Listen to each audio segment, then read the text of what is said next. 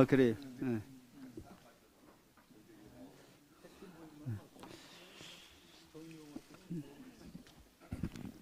북러 정상회담을 마친 김정은 위원장이 전투기 제조 공장을 비롯한 군사 시설을 방문하는 방러 일정을 이어가고 있습니다.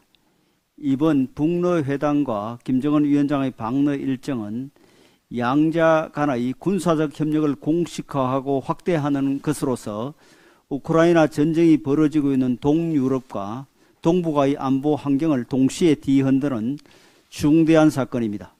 우리 정부는 어제 NSC를 개최 유엔 안보리 결의 위반은 대가가 따를 것임을 분명히 경고했고 러시아 정부에 대해서도 한러 관계에 매우 부정적인 영향을 미칠 수 있다는 우려를 전했습니다. 이처럼 안보적으로나 외교적으로나 매우 위중한 시기에 민주당은 지금의 사태를 경강부회해서 정부를 비판하는 데 열을 올리고 있습니다.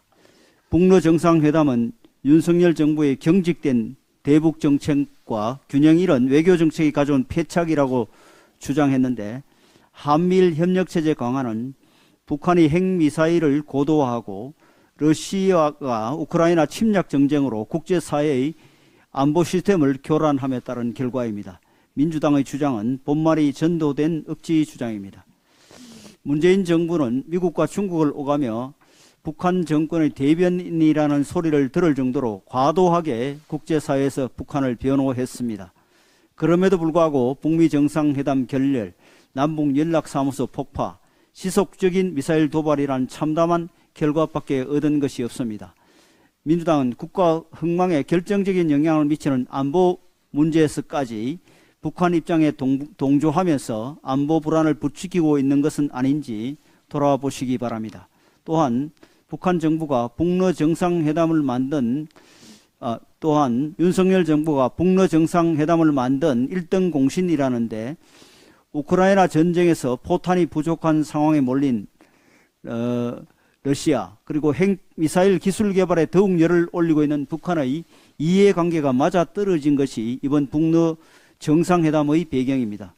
유엔 안보리 결의와 국제사회의 제재를 위반한 것은 안보리 상임이사국을 맡고 있는 러시아이며 역대 정부들을 기만하며 대한민국을 위협하는 핵미사일 고도화를 지속하고 있는 것은 북한입니다. 심지어 지금 민주당은 민주당의 화살은 누구를 향하고 있는 것입니까? 심지어 러시아 국영통신사는 민주당 입장만을 인용하며 우리 정부의 외교 노선을 비판하기까지 했습니다. 이래서야 민주당이 러시아와 공조하는 양상이라는 지적을 부정하기 어렵습니다. 정쟁에 몰두하느라 외부로부터 위협 앞에서도 내부를 향해 총질을 해대는 민주당의 유감을 표하며 국가 안보를 위한 정부의 대북 정책, 외교 정책에 초당적으로 협력할 것을 촉구합니다. 허위 인터뷰 대선 공작 게이트에 대한 수사가 진행 중인 가운데 관련자들의 반성 없는 항, 항변에 아연 실색하지 않을 수 없는 상황입니다. 어제 검찰의 압수수색을 받은 뉴스타파는 민주국가에서는 유례를 찾아볼 수 없는 독립언론 탄압이라고 목소리를 높였습니다. 지금까지 뉴스타파는 김만배 씨와 김학림 씨의 동거래를 인지하지 못한 데 대해서만 사과했을 뿐 보도의 공정성과 진실성에는 문제가 없다는 태도를 보이고 있습니다. 그러나 인터뷰 대가로 수액을 어, 수, 다시 하겠습니다. 그러나 인터뷰 대가로 거액을 주고받은 것이 밝혀졌더라도 인터뷰 내용에 대해서는 믿을 수 있다고 주장하는 것은 일반 상식과 부합하지 않습니다. 실제로 뉴스타파는 보도 전에 녹취록 내용에 대해 당사자들에게 사실을 확인하는 기본적인 절차도 지키지 않았고 대장정 관계자들이 녹취록 내용에 부합하는 증언을 했는데 나중에 그들이 말을 바꿨다는 설득력 없는 핑계만 대고 있을 뿐입니다.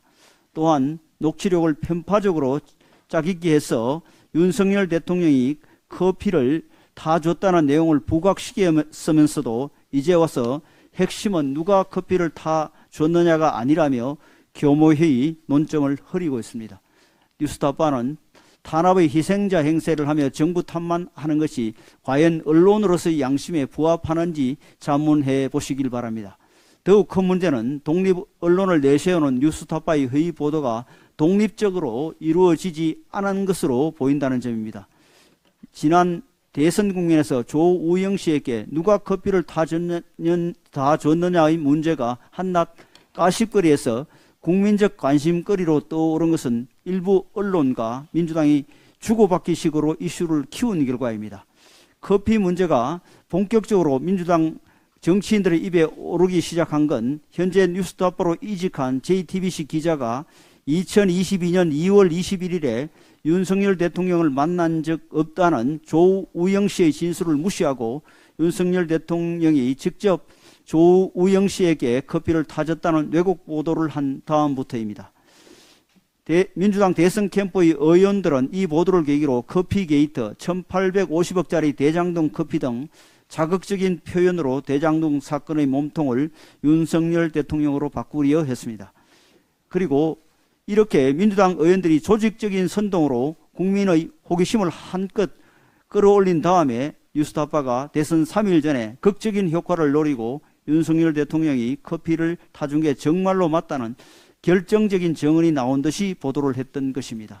합의 잘 짜여진 티, 티, 티키타카와 같은 이러한 수수는 미리 기획, 기획된 시나리오가 아니라면 설명되기 어려운 일들입니다.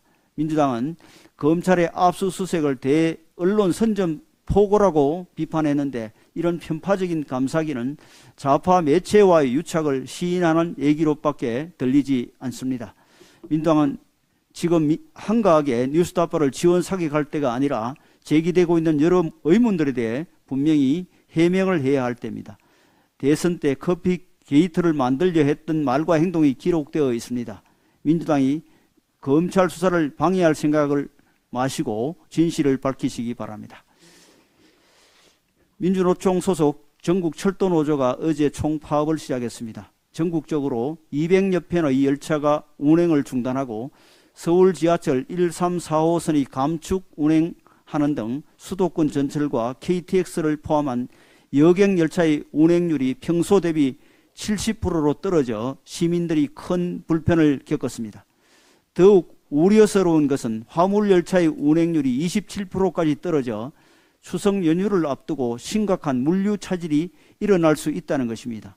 철도 노조의 요구 중 핵심적인 요구 사항인 서울역 기반 KTX와 수서역 기반 SRT의 통합은 정책 변경을 요구하는 것으로 근로 조건 개선 요구도 아니고 교섭 대상, 대상조차 아닙니다. 결국 이번 철도노조 파업은 명백한 정치 파업이며 민생을 볼모로 한 민폐 파업이라고 할 수 있습니다. 철도노조는 정부가 SRT와 KTX를 분리 운영하고 있는 것과 이번 달 1일부터 동해 경전 전라선에 SRT를 운영, 운행하는 등 SRT 노선을 확대한 것을 두고 장기적으로 민영화를 위한 수순이라고 주장하고 있습니다. 하지만 SRT는 이미 7년 동안 운행해 왔기에 이는 뚱딴지 같은 소리이며 노선 확대 또한 KTX밖에 없어 서울 강남권 진입이 불편했던 지역민들을 위한 것일 뿐 정부는 민영화를 전혀 검토하고 있지 않습니다. 철도노조가 주장하는 공공철도의 확대는 겉으로 보면 그럴싸해도 결국은 KTX와 SRT를 흡수해 경쟁 KT 다시 하겠습니다. 철도노조가 주장하는 공공철도의 확대는 겉으로 보면 그럴싸해도 결국은 KTX가 SRT를 흡수해 경쟁 없는 독점 체제를 구축하고자 하는 것입니다. 철도 경쟁 체제의 결과 국민들은 연간 1,500억 원의 운임 할인 효과를 보고 있고 독점 체제에서 누릴 수 없는 서비스 개선 효과를 톡톡히 누리고 있습니다. 철도 노조의 요구는 국민에게서 이러한 편익을 빼앗고 자신들의 몸집만 불리겠다는 의미입니다. 코레일의 방만 운영과 부실화가 매우 심각하다는 사실은 이미 널리 알려져 있습니다. 향후 3년간 예상되는 코레일의 단기 순적자는 1조 2천억 원이 되고 2027년에는 부채 규모가 20조 원에 가까워질 것으로 예상하고 있습니다. 이래도 개혁할 생각은 하지 않고 자기 밥그릇만 지키겠다는 파업을 어떤 국민이 지지하겠습니까? 그런데도 노조는 자신들의 요구가 받아들여지지 않으면 2차, 3차 파업도 고려하겠다고 말하고 있습니다. 공기업의 노조이면서도 국민의 편익은 안중에 없고 자신들의 정치적 목적을 실현하기 위해 크나큰 국민 불편을 초래하고 있으니 이는 매우 바람직하지 않습니다. 전국 철도 노조는 철도 독점 체제의 구축으로 철밥통을 지키려는 정치적 파업을 즉시 중단하시기 바랍니다.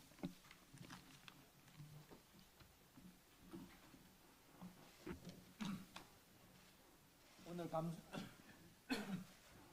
오늘 감사원이 발표한 주요 통계 작성 및 활용 실태 결과 안목 그룹 좀 있는데요.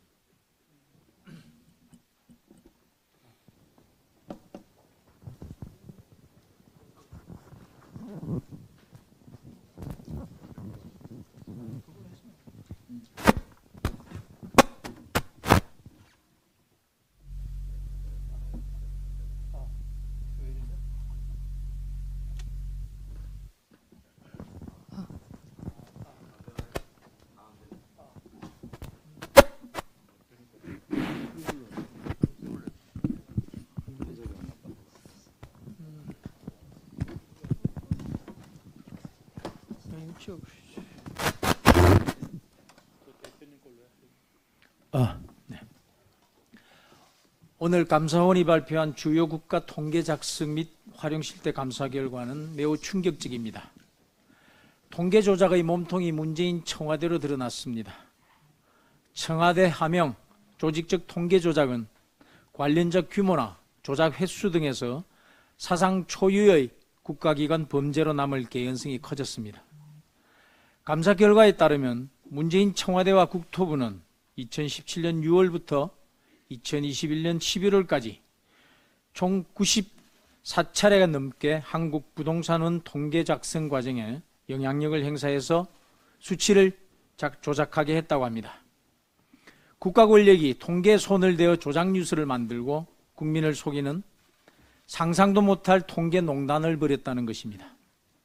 국가의 모든 정책이 통계 위에서 수립되고 집행된다는 점에서 결코 용납 못할 국정 조작이고 최악의 국정 농단입니다. 국정의 근간을 뿌리채 뒤흔든 중대범죄인 것입니다. 부동산만큼은 자신 있다던 문재인 전 대통령의 호언장담은 대체 어떤 의미였습니까? 통계 조작이든 왜곡이든 간에 물불 가리지 않고 부동산 이념 정책을 펴겠다는 것이었습니까? 아니면 그 호언장담을 맞추기 위해 통계 조작도 서슴지 않겠다는 호언장담 맞춤형 통계 조작이었던 것입니까? 감사 결과를 보다 보면 하도 어이가 없어 말문이 다 막힐 지경입니다. 우리 당과 언론 등에서 통계 조작 의혹을 제기하자 문재인 청와대는 이를 은폐하면서 계속 통계를 조작했다고 감사원은 밝히고 있습니다.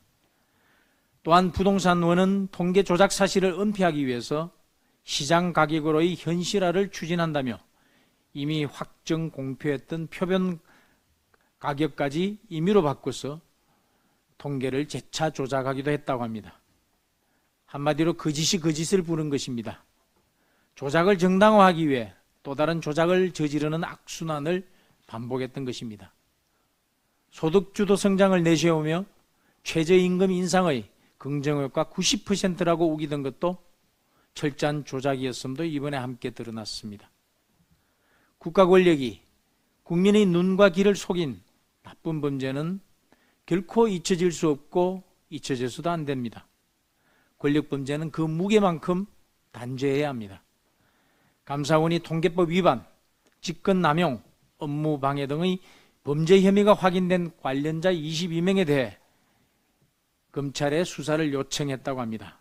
검찰은 한치의 빈틈도 없이 수사해서 엄중히 단죄해야 할 것입니다. 민주당이 최고위원회에서 이종석 국방장관 탄핵을 추진하지 않을 것이라고 했다고 합니다. 그나마 다행입니다. 애당초 탄핵을 꺼내들 게 아니었습니다. 지난 2월 헌정사상 초유의 야당 단독 행안부 장관 탄핵을 추진해서 안전 공백을 일으킨 것도 모자라 물러나는 국방부 장관을 탄핵해서 안보 공백을 초래하려고 시도했던 것 자체가 무리수의 연속이었습니다. 국회 의석수만 믿고 밀어붙인 행, 행안부 장관 탄핵이 헌법재판소 재판관 전원 일치 의견으로 기각 결정 났듯이 마찬가지 결정이 내려질 것이 뻔한 것이었습니다. 그런데 국방장관 탄핵 포기를 밝히면서 느닷없이 검사 탄핵을 추진한다고 합니다. 민주당의 탄핵 중독은 중증이라 해도 과언이 아닙니다. 현 정부가 출범하자마자 법무부 장관 탄핵을 주장하더니 외교장관, 국무총리, 국토장관 등의 탄핵을 계속 외쳐대어 왔습니다.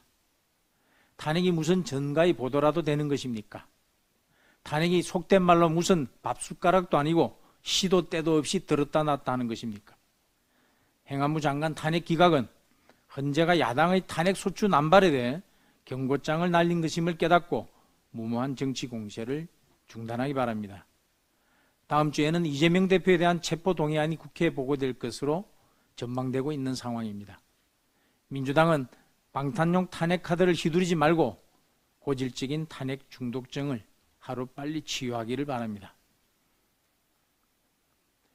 교원의 정당한 교육 활동을 보장하기 위한 교권 회복 사법이 오늘 국회 교육위를 통과했습니다. 다행입니다. 이제 더 이상의 비극은 없어야 합니다.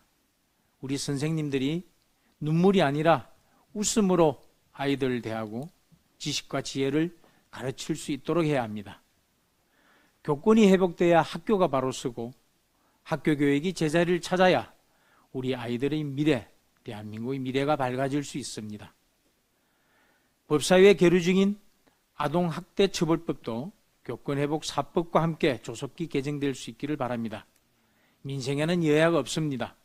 21일 본회의에서 교권회복 관련법과 함께 교권회복 관련법 모두가 함께 처리될 수 있기를 바랍니다.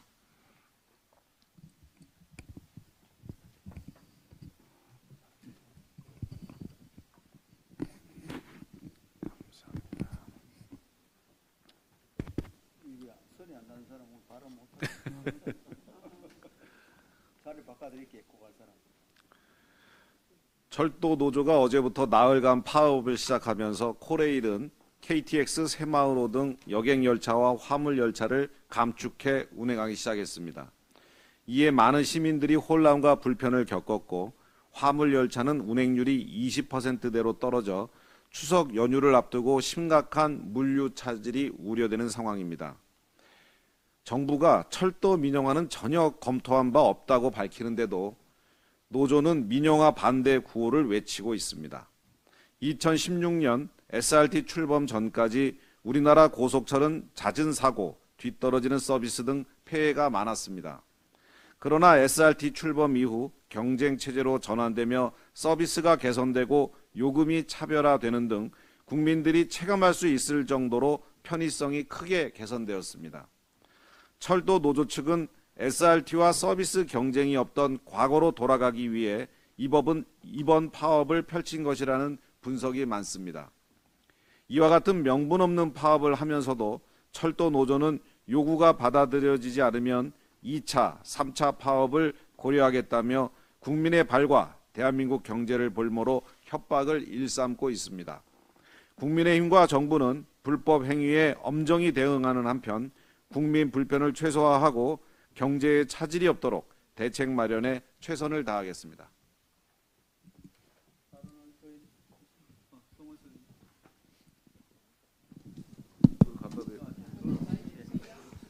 무슨 무슨? 예, 예결위 간사 송원석입니다. 철도 노조의 파업은 전혀 명분이 없는 정치 파업이라고 생각을 합니다.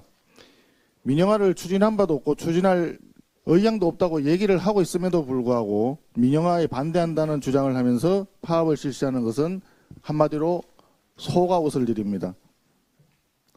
고속철도 통합 운영이라든지 수소행 KTX 도입과 같은 철도 정책에 관한 사항은 철도 노조의 협상 대상도 되지 않습니다. 그렇기 때문에 이번 파업은 전혀 명분이 없는 것이라고 할 수 있습니다.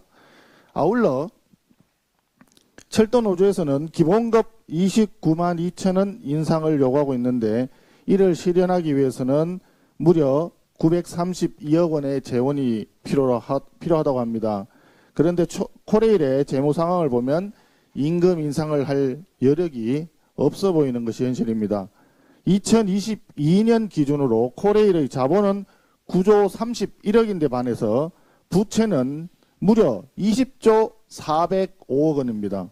부채 비율이 226%가 넘는다는 뜻이고 단기 순 손실도 2,349억에 이르고 있습니다. 이러한 손실 나는 회사에 임금 인상만 주장하게 된다면 이 회사는 거들날 게 뻔합니다.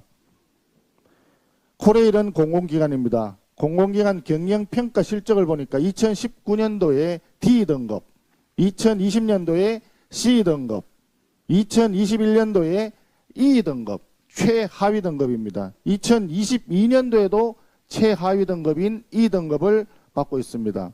이러한 최하위 수준의 경영평가를 받고 있는 회사에서 엄청난 재원이 필요라는 기본급 인상을 또다시 요구하고 있다는 것입니다. 그런데 코레일의 직원 1인당 평균 보수액은 연간 6,691만 원. 이것은 대한민국 중소기업 평균 연봉인 3,192만 원을 받는 일반 직장인들의 평균 연봉의 두 배가 넘는 수준입니다. 이러한 상황에서 손실나는 회사의 직원으로서 뼈를 깎는 자구 노력이 앞장서야 되는 상황이도, 상황임에도 불구하고 명분 없는 정치 파업으로 더욱 심각한 경영 차질을 초래하고 있는 이번 철도 노조의 파업은 국민들이 용납하지 않을 것입니다.